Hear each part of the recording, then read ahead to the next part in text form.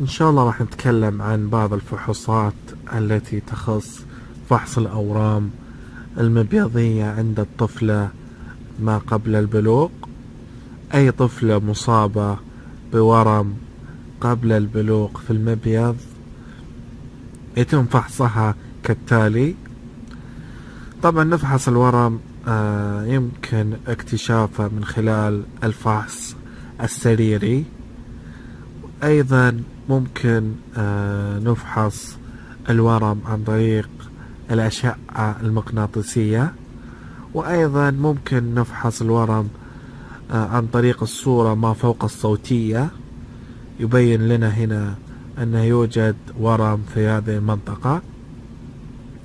أيضا تعرض غشاء البكارة لثقب صغير وتصوير داخل هذا الثقب عن طريق المناظير.